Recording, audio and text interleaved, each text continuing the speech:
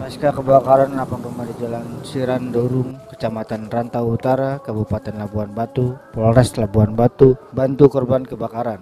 Sebanyak 8 unit rumah yang terdiri dari 5 unit rumah tempat tinggal yang didiami 6 kepala keluarga, sementara 2 unit rumah lagi tempat usaha dan satu unit adalah rumah kosong. Terletak di Jalan Sirandorung, Kecamatan Rantau Utara, Kabupaten Labuan Batu, Sumatera Utara. Terdorong rasa empati, Kapolres Labuan Batu memberikan bantuan berupa uang tunai, beras, telur, dan minyak goreng yang diterima langsung oleh koordinator di posko penerimaan bantuan. Surya Winata, korban menyampaikan terima kasih kepada Polres Labuan Batu atas bantuan yang diberikan kepada korban kebakaran.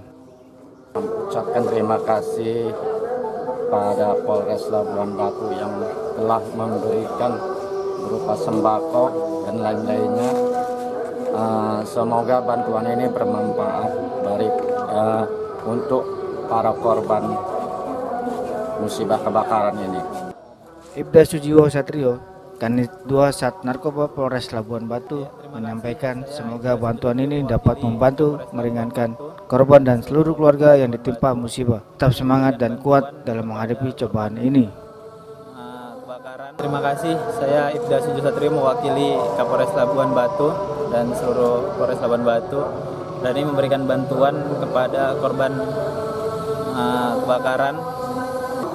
Di sini kami harap agar para keluarga korban dapat dilapangkan dadanya dan tetap semangat dalam menjalani kegiatan sehari-hari dan kami berdoa agar korban kebakaran tersebut uh, dapat segera diselesaikan permasalahannya.